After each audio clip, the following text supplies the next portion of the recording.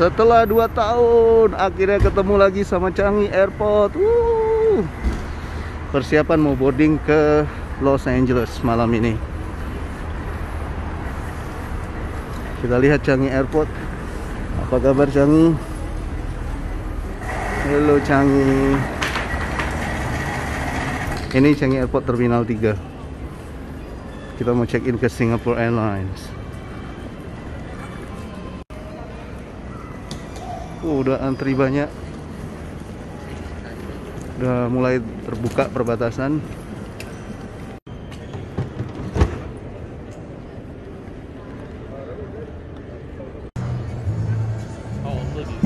On a YouTube. Oh, oh you're the content creator.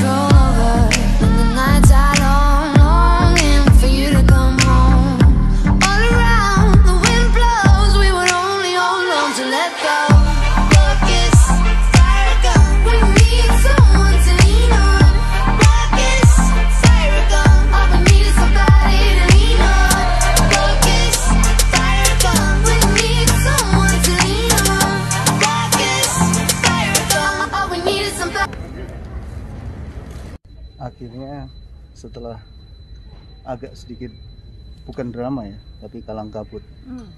Kalang kabut untuk boarding kita sudah boarding. Siap-siap. Tunggu masuk pesawat 845. Gimana perasaannya? lagi nervous lah udah lama kan Iya, kalau aku jujur happy tuh nggak usah diomong lah, pasti senang namanya traveling kan. Tapi karena mungkin dari hampir 2 tahun nggak traveling jadi ngerasa kayak nervous gitu. Itu yang buat jadi kalang kabut. Sempat hilang boarding pass, harus keluar lagi ngeprint boarding passnya. Tapi sebenarnya kalau untuk eh, prosedur untuk traveling ini semuanya serba bisa dibilang profesional ya ditata dengan secara profesional ya. Artinya kalau kita sudah vaksin dan mengikuti semua protokol kesehatan di Bandara Changi ini maka smooth semuanya benar-benar eh, lancar. Nggak ada halangan nggak ada kesusahan sedikit pun ya. Pastinya. Nah, jadi eh, kalang kabutnya itu lebih pada kesalahan aku sendiri sih iya ribet banget dari tadi. Ada aja yang dikerjain. Tapi kalau bandara Canggihnya itu profesional banget. Benar-benar semuanya tuh sudah tertata dengan sistem secara sistematis. Jadi kalau kita sudah ikutin aturan ya mulus lancar. Nggak ada halangan sedikit pun. Gampang segampang-gampangnya. Ya, waktu kapan hari itu kita ke mana London ya. Balik dari London itu sudah mulai perketat di bandara. Dan setelah itu langsung lockdown nggak lama setelah itu. Dan setelah itu udah hampir 2 tahun sampai sekarang ini kita mau ke LA uh happy banget.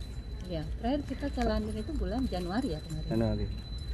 Nanti kita jadi ini eh, yang mau tahu gimana suasana bandara Changi Singapura sekarang di saat sudah memulai eh, membuka perbatasan dengan beberapa negara, terutamanya yang saya tahu ya dengan Amerika dan Kanada, istilahnya vaccinated travel lane ya. Hmm. Jadi maksudnya jalur yang dibuka antar dua negara untuk mereka yang sudah vaksin, gitu gampangannya. Dan eh, lancar, seperti yang tadi saya bilang. Jadi buat kita yang sudah vaksin dan kita sudah tes, semuanya mudah, gampang, dan betul-betul mulus prosesnya. Oke,